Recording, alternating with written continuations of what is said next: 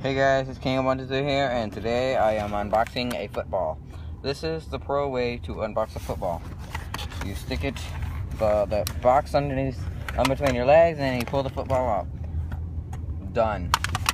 And you throw the football on the ground, hopefully there's nothing in there important, and done. Leave a like, subscribe, and comment.